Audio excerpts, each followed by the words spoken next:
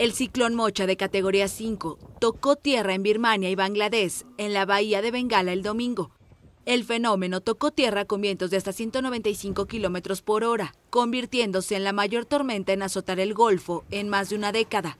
Entre 400 y 500 refugios provisionales se dañaron en campos que acogen a casi un millón de refugiados musulmanes rohingyas en Cox's Bazar, pero no se reportaron víctimas. También el viento destruyó casas hechas de bambú y lonas en otro campamento de refugiados rohingyas en el estado birmano de Rakhine. La autoridad a cargo de la gestión de desastres en Bangladesh dijo que el ciclón no causó daños importantes en el país, donde desplazaron a 750 mil personas antes de la tormenta.